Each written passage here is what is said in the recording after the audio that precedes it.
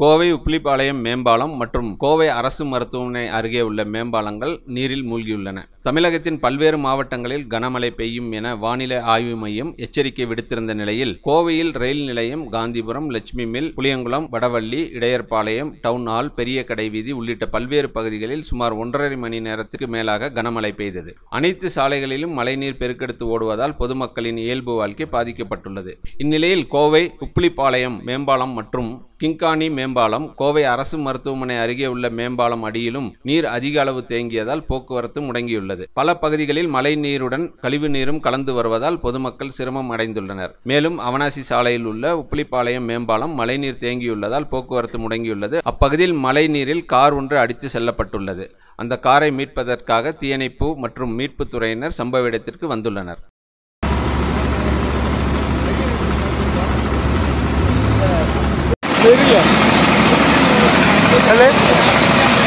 சாமி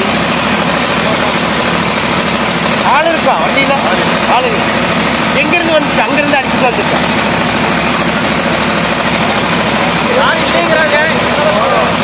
வண்டி லைட் எரியுது. லைட் எரியுது. அப்புறம் ஆள் அது எப்படி ஆள் இருக்கும் ஆள் இருக்கும் ஃபயர் சர்வீஸ் ஃபோன் பண்ணிட்டாங்களா? தெரியலையே.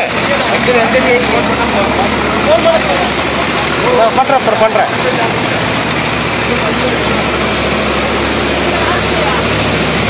சார் ஆள் இருக்குமா?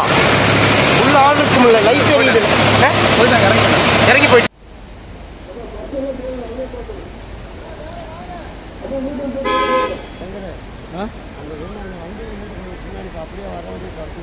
இல்லைண்ணா ஒரே